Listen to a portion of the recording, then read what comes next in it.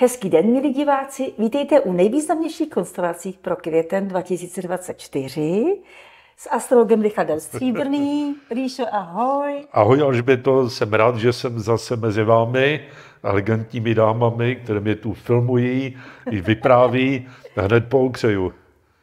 A my taky. No. A mám navíc teď, humoristu přece. ale humoristu, navíc jsem poslem dobrých zpráv, aspoň doufám pro ten květen, že opravdu by mohl být lásky čas tentokrát. Výborně, to si všichni rádi vybereme. Jak praví klasik, bíkovi není nic lidského cizí a tentokrát ten bík bude opravdu dominovat. Hned 1. května Ano.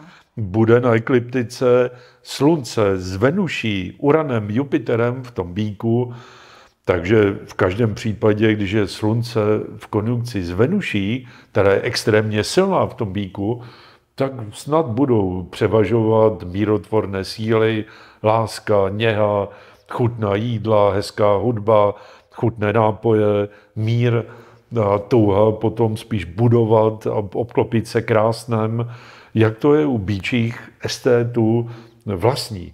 Samozřejmě pár cyklonů se najde, Luna je ve vodnáři v tom 1. května v napětí eh, s těmi bíčími silami, čili vždycky je tu nějaká nádražní směska různých duší přítomná v tom prostoru zvaném Česká republika, či někteří nebudou chtít mír a klid, ale budou pokřikovat vodnářsky, všechno jinak, vy nás okrádáte a podvádíte, připravili jste nás o práci, když to je svátek práce, takže sem tam nějaké demonstrace by mohly být. Ale Luna není prvek, který by dával nějaké opravdu situace, kdyby se lidé servali a řvali agresivně na sebe. To se mi nejeví. Provokace ano, ale odsud až podsud. Čili takové ty příjemné konstelace převažují nad nějakými radikálními. A ženský živel, ten v těch konstelacích je charakterizován Venuší, ta je silná v bíku, Mars mužský živel, extrémně silný v Beranovi, čili dá se říci, že tu bude kolotat hodně sexuální energie, kdy se lidé budou milovat a množit, spíš než by si šli po krku. Jo. To je můj odhad nejenom na ten první máj, ale i převažují tyhle konstelace prakticky po celý květen. Tentokrát jsem opravdu hlasatelem dobrých astrologických zpráv pro tuhle planetu. Samozřejmě, jak jsem říkal v tom dubnu, bylo to tu zatmění 8. dubna, nebo předtím eh, to bylo 8. dubna úplné zatmění slunce v tom Beranovi, eh, které se odehrálo v Spojených státech amerických, kde pravděpodobně dojde k přehodnocení nějaké válečné doktríny. A předtím došlo 25. března k částečnému zatmění Luny, takže to se pořád podepisuje i v tom květnu, i ten, čtvr, i ten čtvrtletní horoskop vstupu slunce do Berena. A, takže nečekám, že by bylo nějaké velké vlhko. Spíš můj odhad je, že by ten květen měl být teplý a suchý. Hmm. Jo. Studený maj v stodole ráj se říká a rozhodně si myslím, že pokud to platí, tak ten ráj až takový nastat nemusí. Samozřejmě ty bík je znamení teplé, ale vlhké. Takže ta skrytá vlhkost v tom bíku, byť tam převažuje zemská energie, zemský živel, ta nějaká vlhkost tam skrytá je, ta ve vlhkém znamení ryb je pak Neptun se Saturnem. Čili nějaké děsivé sucho a příšerné horko neočekávám, když převáží vlivy Venušiny a toho býka, tak spíš mírné, příjemné klima, ne nějaké agresivní. To je můj odhad té situace. No a prakticky eh, celý květen se bude pohybovat tahle čtyřka Slunce, Venuše, Jupiter, Uran v bíku, což prospěje světové ekonomice, obchody by se měly hýbat, lidé by neměli sedět za pecí, rádi se scházet v nějakých restauracích, dávat si chutná jídla, chodit na koncerty, scházet se s přáteli nad skleničkou dobrého moku. No, nemělo by to být nějaké asketické období. Bík většinou tolik askezy nepřeje. A vynikající je třeba 7. a 8. květen 2024, kdy dojde eh, k novoluní v Bíku, kdy bude Slunce s Lunou, Venuší, Jupiterem i Uranem v Bíku.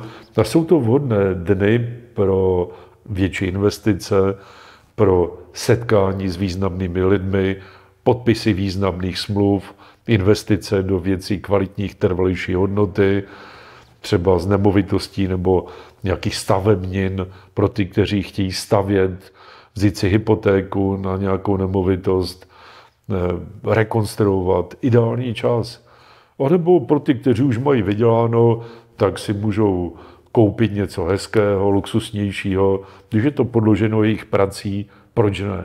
Jsme uklopeni sice samsárou, nemá smysl se zatím honit jak nadbutá koze, jak říkáme my slezaní, ale když člověk na to má a pracoval těžce, tak proč si tu okolní samsáru nespříjemnit a neskrášlit, nezvelebit. Líp se tam žije.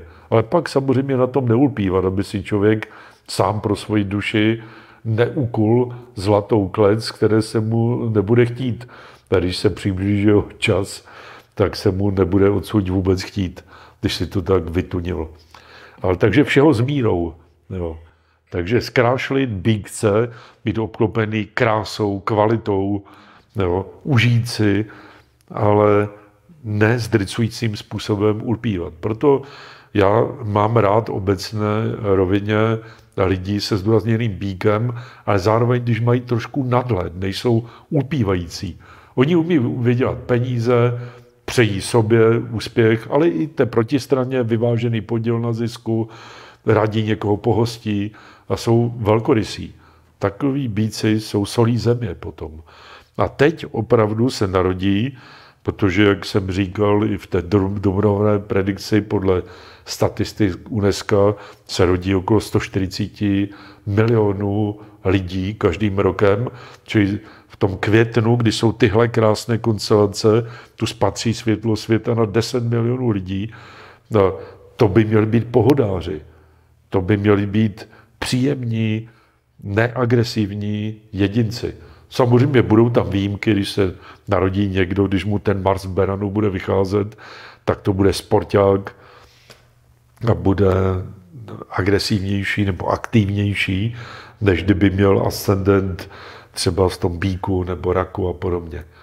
Čili nelze hodit všech těch 10 milionů do jednoho pytle, ale převažují tyhle pohodové konstelace. I světová ekonomika by měla dostávat dobré impulzy a předpokládám, že rozhodně obchody by měly skvétat. Merkur bude přímého běhu, takže rozhodně to vypadá velmi dobře.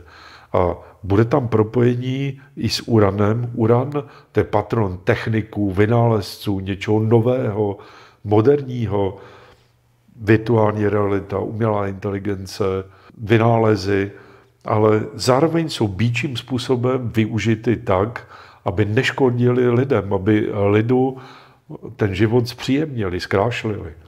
Nebo narodí se plno estétů, kteří zkrášlí techniky, zkrášlí stroje, zkrášlí výpočetní, komunikační techniku i automobily.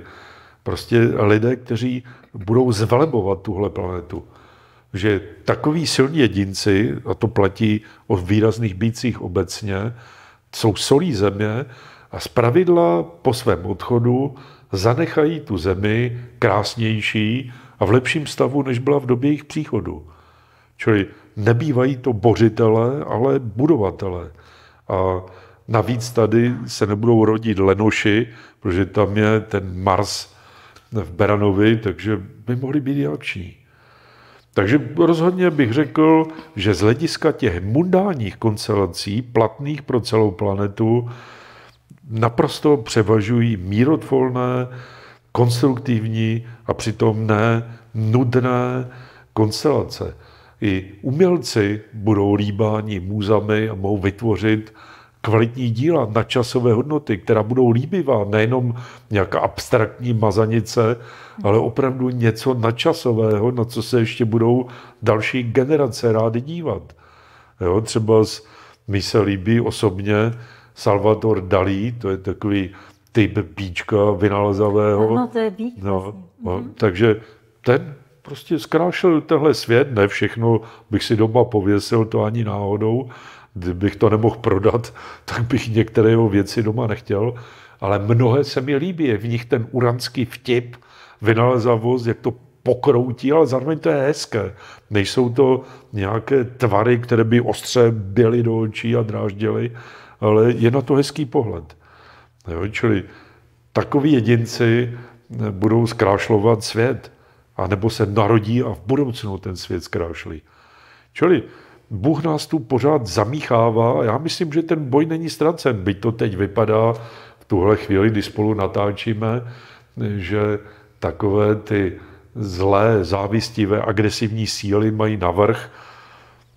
Já si myslím, že ne, že to je vyvážené a že se to vždycky zvrtne.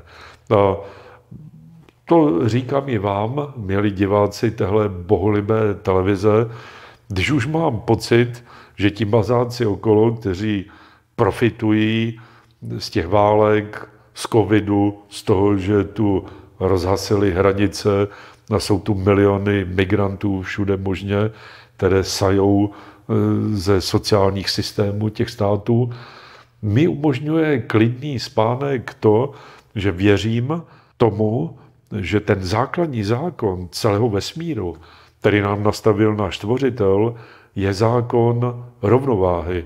Co do tohoto světa vkládáme, to se vyvažuje a k nám navrací. Takže přirozeně peníze slouží jako nástroj vyvažování naší karmy. A my, když třeba teď levně vyrábíme elektrickou energii, pak ji slušně prodáme a draze se nám navrací, úplně iracionální na první pohled, tak většinou naštvaným lidem říkám, ne, že by se mi to líbilo. Kdybych to bylo v mé pravomoci, tak bych to okamžitě změnil. Ale jestliže tomu tak není, tak jsou jenom dvě možnosti.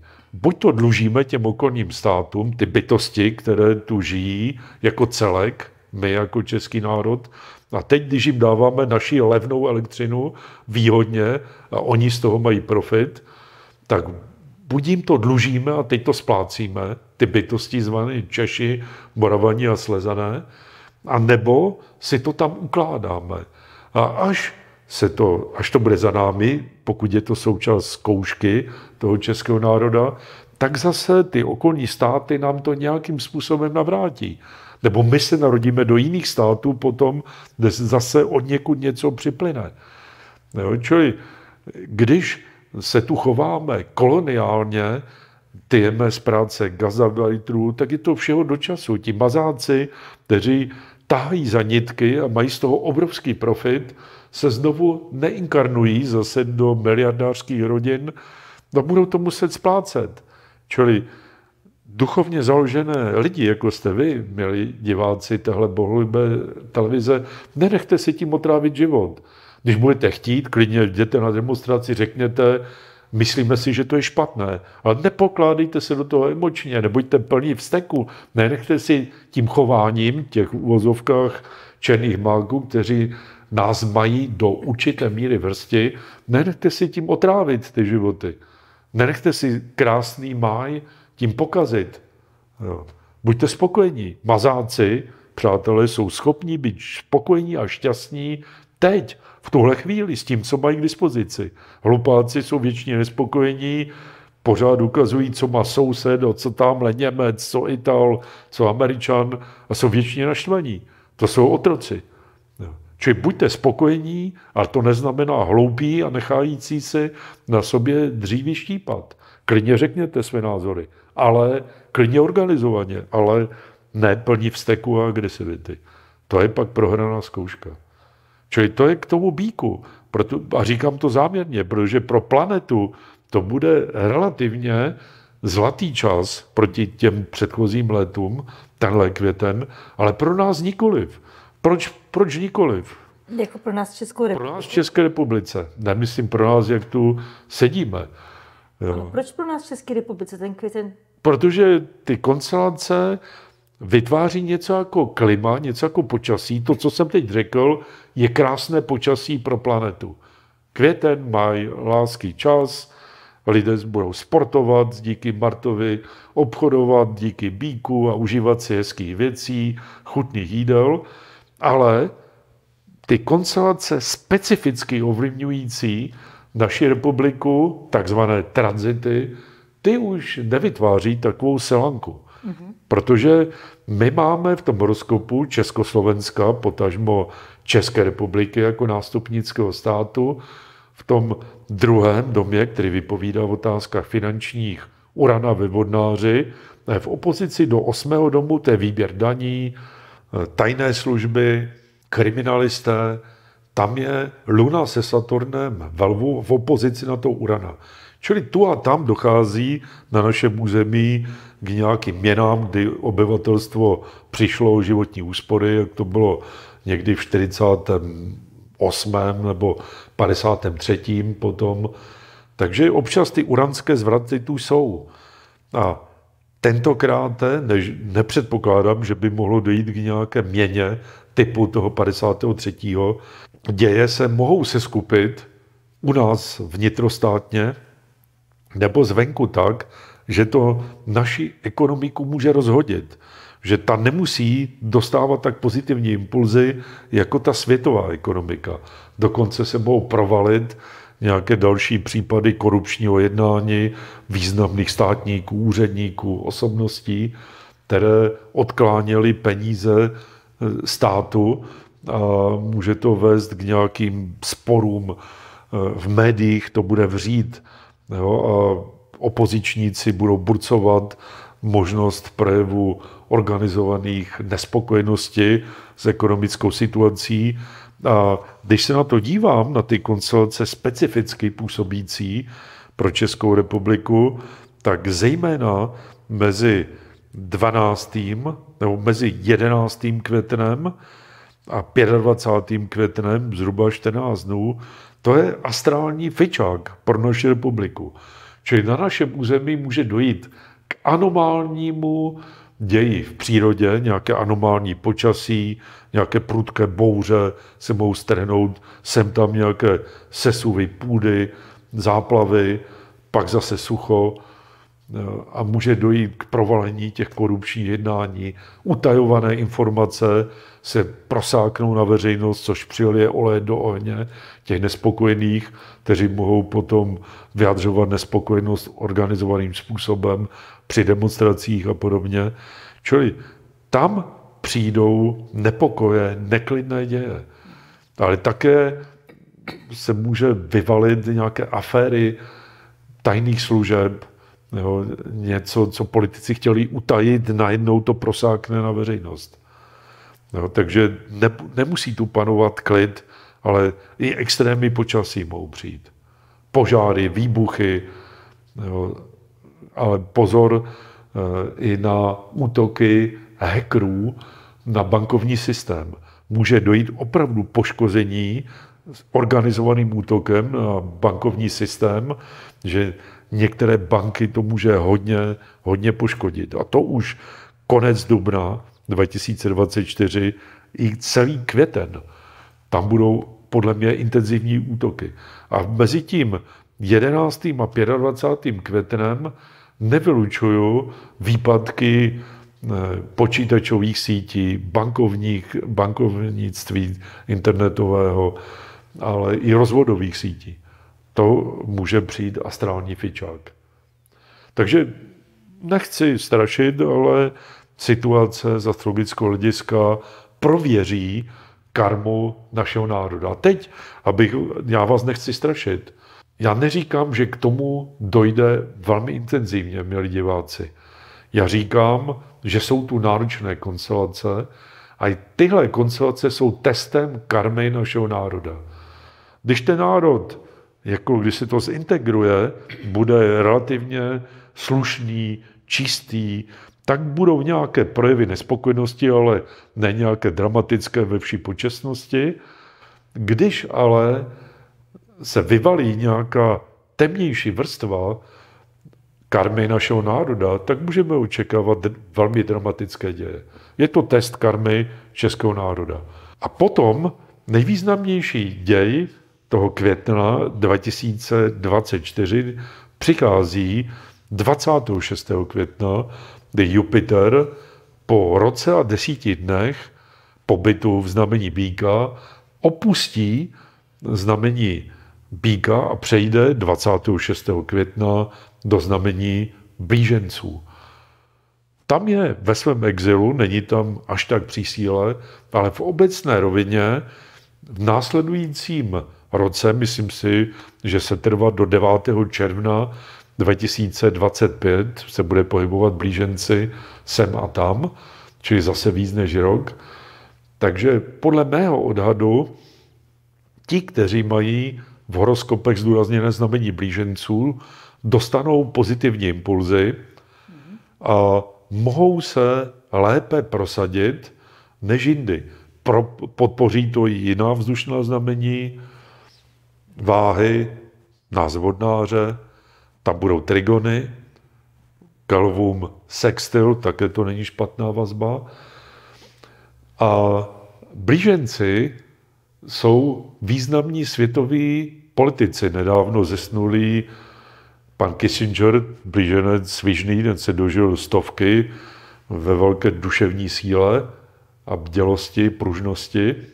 No a teď jsou tu blíženci Donald Trump, kterému to přihraje, protože ten Jupiter ho podpoří, v vozovkách podpoří, berte to s nadhledem, abstraktně řečeno, při těch volebních tahanicích v Spojených státech amerických, či na první nástřel, to ještě upřesním, bych typoval v tuhle chvíli při tom přechodu Jupitera do blíženců, že Trump ty volby vyhraje, ne Biden, a že to prospěje světovou míru, protože pokud Trump dodrží svá slova a bude chtít utlumit tu válku nebo ukončit nejlépe, tak ji ukončí, což prospěje světovou míru.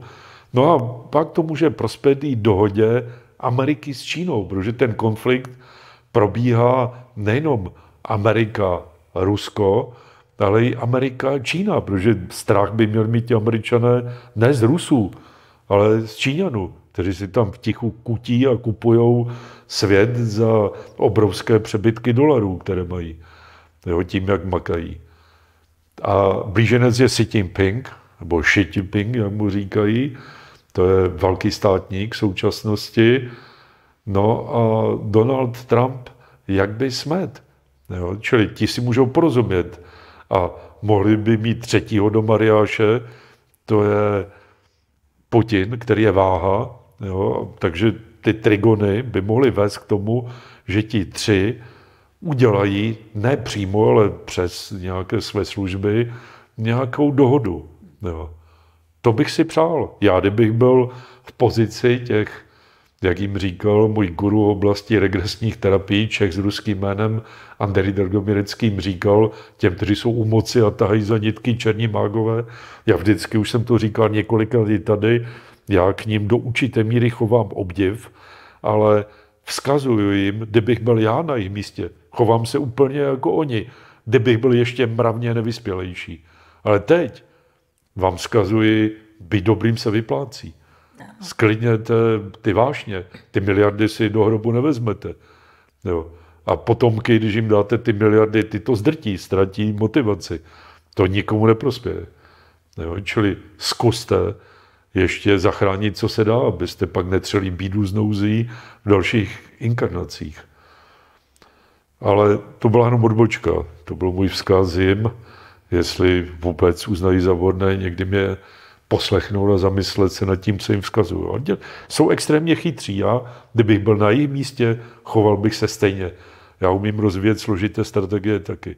Ale dneska vím, že člověk na téhle planetě obelže, okrade, podvede, zmanipuluje v podstatě jenom sám sebe. Že všechno se vyváží a navrátí. Nemá to smysl. Ti, kteří teď to zneužívají, si kopou karmickou jámu, do které dřív či později padnou a nakonec dojde dále ten slušný, skromný, pokorný, poctivý a vytrvalý. Tak to dle mého soudu je a za to dám ruku do ohně. Z dlouhodobého hlediska. Krátkodobě si to samozřejmě užijí oni, ne že ne. Takže to byla jenom odbočka. Jo? Takže podle mého soudu ten přechod toho Jupitera do blíženců způsobí ještě další věci. V příštím roce dojde k zásadnímu zvratu, ten bude ještě významnější než ten 2024, protože přejde po letech Uran z Bíka do blíženců. Nějakou dobu tam bude i s Jupiterem. Saturn s Neptunem pomaličku přejdou z ryb do berana, čili ten svět bude jiný. A když Jupiter, expanzní prvek, přejde ještě do blíženců, tak lidstvo bude generovat ještě mnohem více a více informací, než tomu bylo doposud. A dojde k tomu, že se budou muset změnit vyhledávače. Teď to vyhledávání je zbytečně extenzivní, ale když se propojí ty vyhledávače opravdu s umělou inteligencí, nebo umělá inteligence už nebude potřebovat vyhledávač, tak ji ústně zadáte mantinely a ona vám to vyhledá. Jo. Takže já podle mého soudu očekávám, že ta šílená expanze dat bude skrocená, velkoryse a ta big data, jak se tomu říká, teď všechny ty velké korporace potom touží mít ta big data, tím krmit ty svoje umělé inteligence, že v tom se už bude nakrmená ta umělá inteligence a bude vyplivovat smysluplnější výsledky a lidstvu, které budou schopné se ptát, tak bude nesmírně užitečná. Já sám mám ve své škole klasické astrologie studenty už 27. rokem, je s kolegou Bohuslavem učím. Mi stačí pár otázek a poznám, jak na tom je ten, který se ptá, jak je inteligentní, jak tomu rozumí. Takže Teď, přátelé, učte se ptát. Jupiter v blížencích už nebude chtít, protože to nebude v silách ani jednotlivce, ani davu jednotlivců všechno pochopit. Učte se ptát. Zamyslete se nad tím, co vlastně chcete vědět. A podle toho se pak ptejte. To je můj vzkaz pro, pro tu expanzi budoucí s tím Jupiterem blížencích. A budou to i jiné, lepší komunikační prostředky. Všechny se domluví s každým, kdo bude chtít, bude mít svůj osobní komunikátor, který bude mluvit všemi jazyky. Takže ať budeme někde v Číně, Mongolsku, Rusku, Americe, všude se domluvíme. Jo, okamžitě v zlomku sekund budeme mluvit jakýmkoliv jazykem. Snad s výjimkou domorodců v Papuji Nové Gvineji na ty nedojde. Ti budou závětří. Takže asi takhle bych to viděl na ten květen. Co říkáš? Taky fičák. Stejně tak jako duben bych jo. si typla. Je to tak, ale pro mě je příjemný. Já fandím bíkům. Mm-hmm. Samozřejmě pokud ten bík není v těle Hitlera nebo, nebo tak, nebo není to nějaký Lenin Hitler. Marx už byl chytřejší, ale taky žádný lomen. Dal bič nějaké partě, která pak chtěla, chtěla všechno zrovnoprávnit. Ale rovnoprávní jsme byli když jsme se oddělovali od Boha. Teď už ne. Ta rovnoprávní jsme, ale ne na stejných pozicích. Myslím, že i Alžběta druhá byla bík. Taky, taky. Mm-hmm. Taky bíčice. Jo, ale byl i Jiddu Krishnamurti bík za strantem vyvodnáři, skvělý mystik a duchovní vůdce první poloviny 20. století. Jsou oduševnělí bíci a když ten bík je oduševnělý, velkorysý a inteligentní, to je skvělý tvor na téhle planetě. A věřím, Určitě. že takový se budou rodit, budou jich miliony. Určitě.